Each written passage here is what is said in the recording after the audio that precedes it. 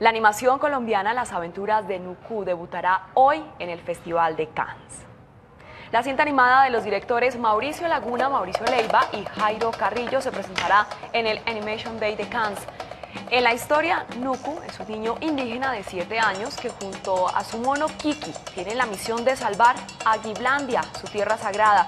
Las aventuras de Nuku se suman al grupo de cortometrajes colombianos que participan este año en Cannes como Madre, Décimo Mesa y Los Pasos del Agua de César Acevedo, entre otros.